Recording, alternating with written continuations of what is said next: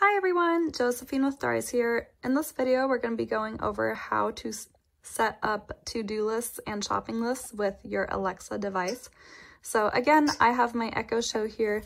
It's the 10 inch, has the nice big display. Here's my hand for comparison.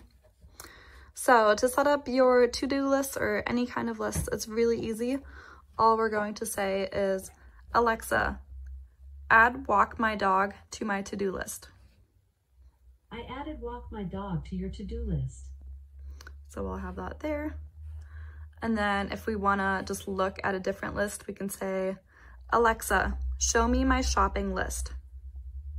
Your shopping list is empty. Try saying, Alexa, add eggs to my shopping list.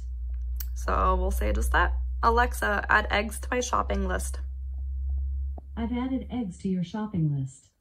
And we can do that for all kinds of stuff. The lists can be really long. And if you have just a couple lists, it'll swipe in between um, the different lists that you have going on your device anytime you walk by it or look at it. Um, it can track when you're looking at it, so that's really nice.